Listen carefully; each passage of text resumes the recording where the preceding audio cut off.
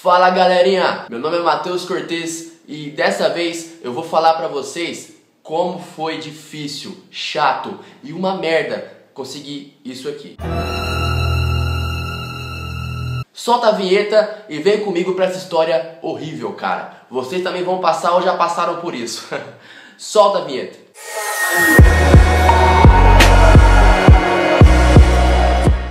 Carteira Nacional de Habilitação, CNH. Nós homens crescemos ouvindo que a gente precisa tirar CNH, a gente tem um sonho de sempre ter um carro, a maioria dos casos é assim, e a gente sempre acha que quando fazer 18 anos vamos pegar a merda da carta rapidão e sair andando por aí de carro, aqui ó, virando tipo Snoop Dogg, mano. Só que não é bem assim não, mano. Não é bem assim. Por que, que não é bem assim? Vou contar a minha história pra vocês, acho que vocês vão se identificar se já passaram por isso ou vão ficar com medo e com receio de tirar sua CNH quando lembrar disso aqui, cara. Mas vale a pena, já vou falar porque você ter um carro ajuda muito. Só que ó, são três ou quatro meses mais ou menos de provação. Vocês vão ver o que eu tô falando agora. O primeiro passo para tirar a CNH é fazer 18 anos. Então você fica a sua vida toda, né, querendo fazer 18 anos quase. Sua vida toda querendo fazer 18 anos. Puta que pariu, Matheus. Puta que pariu.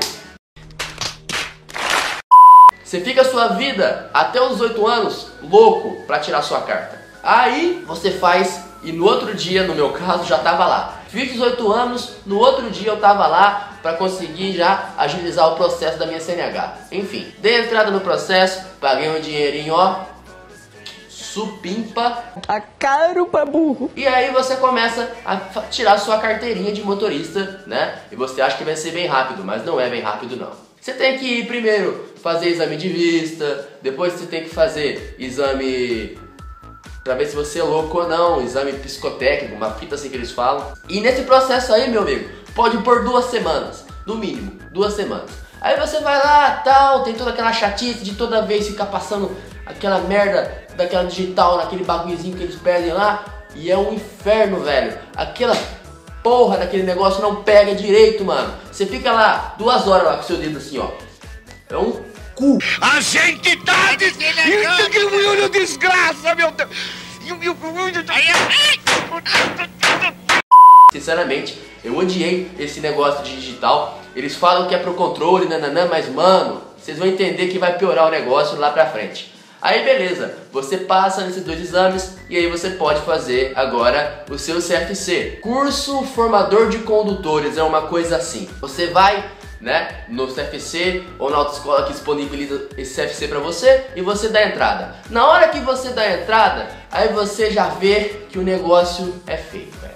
Você já vê que ali vai ser uma bosta, porque você vê aquele negocinho lá aquele negócio de leitor digital que é igual o da médica, da merda do psicotécnico e é ruim pra caralho. No primeiro dia do CFC você chega lá achando que vai ser, né? Nossa, curso formador de condutores, caralho, vai ser foda pra caralho. Vou, nossa, mano, vou virar, tá ligado? Vou passar debaixo do caminhão com o carro assim sair. Não. Curso formador de condutores vai te falar o que você vê na rua todo santo dia. Vai falar assim pra você, ó. Ai, moço, tá vendo aqui esse, essa linha, essa faixa contínua? Quando ela estiver na rua, o senhor não pode ultrapassar. Mas quando tiver a faixa cortadinha, assim, pá, eu esqueci o nome daquela merda, você pode ultrapassar. Ah, vai se fuder, eu já sei disso, filha. Se você quer me fazer pagar 100 reais numa merda um curso pra me ensinar uma porcaria dessa, vai se ferrar, mano. Não, eu vejo na internet. Dá licença, velho. Me vende sua merda apostila que eu prego essa merda lá e estudo. Tá me tirando, mano? Tá achando que eu sou o quê, velho? Pra piorar um pouco mais a situação, aí tem a aula de primeiros socorros, velho. Primeiro, não. Aí, agora o negócio vai ser louco. Essa aula, eles vão falar pra você que se tiver alguém morrendo na estrada lá, o carro vai explodir e você não socorrer a pessoa, você pode ser preso. Ok, isso aí eu até acho legal, porque a pessoa é obrigada a ajudar, né? Então, ah, tá, beleza, os babacas vão se fuder, os legal vão se, se dar bem ou morrer lá tentando. Mas tá bom, o cara tentou. Só que aí tem um pequeno detalhe, filho da puta. Se você descer do carro, né? O que, que você faz? Você, ser humano, você para o seu carro na puta que pariu, não, não importa onde seja, e vai ajudar a pessoa. Tô errado? Não, né? Olha o que eles falam pra você fazer. Você vai parar seu carro no acostamento, contar 120 fodendo passos para trás do seu carro e estender lá o seu triângulo. Até você voltar, o cara já morreu. Então pra que eu sou obrigado a parar para ajudar o maluco? Por favor, alguém me explica isso. Se eu tenho que descer daquela merda, contar 120 passos para ajudar o cara, por que eu vou ajudar o cara? Ele já morreu, porra! O carro já explodiu! Vocês não conseguem entender isso? Ô lei brasileira de lixo! Que bosta! Aí se você não faz uma merda dessa, você não conta 120 passos e alguém bate no, no carro do cara, acho que você é culpado, você tá ligado? Ah não, mano, já deu. Não, já deu, não. Ai, tomar no cu. Aí depois dessa porra dessa aula de merda, aí você fala, vou começar minhas aulas, né? Vou começar minhas aulas é, práticas, né? Suas aulas práticas. Vou começar a aula prática, agora vai ser foda, vai ser louco, dirigir lá, Rubinho Barrichello. Não, mano. Não, não é assim. Só que aí, você faz as aulas da merda de carro, da merda de moto e tem os exames. Chega no exame, meu amigo. No exame, você tá no cagalhaço. Você tá num cagaço louco. Porque o povo fica assim pra você.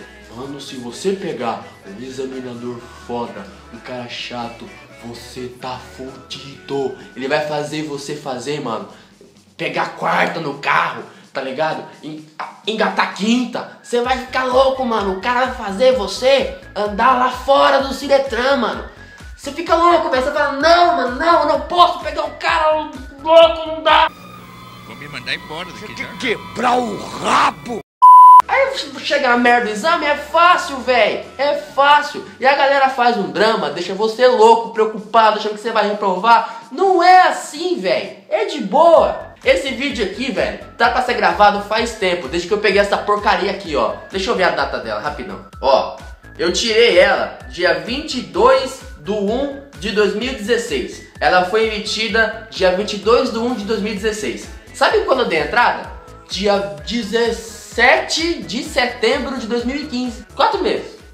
Então não é rapidinho não, mano. Se você tá achando aí que, ah, vou pegar minha carta daqui hoje, não é. Então, mano, eu vou pedir o joinha de vocês. Chegamos a 8 mil inscritos e a meta agora é 10. 10 mil. Então vamos lá, demorou? Conto com vocês, brigadão, dá trabalho fazer conteúdo no YouTube, quem tem canal sabe. Então, mano, salva nós, dá aquele like, aquele joinha. Tô fazendo vídeos grandes agora, demorou? E tamo junto, rapaziada. Aquele abraço e falou!